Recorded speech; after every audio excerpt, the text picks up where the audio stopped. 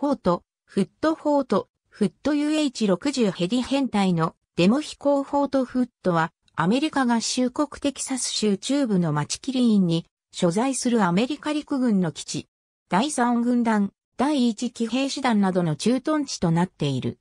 敷地は880平方キロメートルあり、5万人以上が勤務するアメリカ陸軍の基地としては最大の規模である。フォートフット基地内には約4000頭の牛がいる。もともとキリンの大部分は牧場であり、大規模な放牧が行われていた。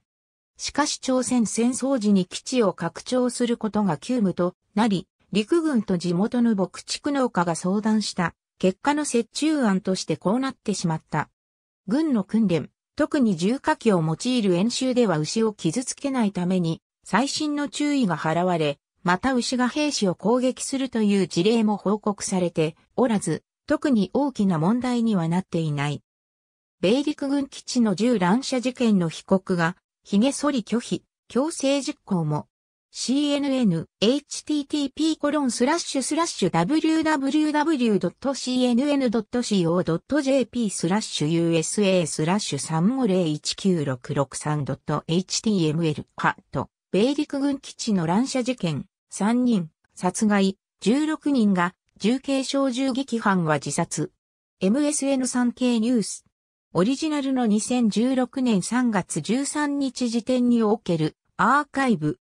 https コロンスラッシュスラッシュウェブドットアーカイブドット org スラッシュウェブスラッシュ20160313073902スラッシュ http コロンスラッシュスラッシュ www.sankei.com スラッシュワールドスラッシュニューススラッシュ140403スラッシュ WOR1404030026 ダッシュ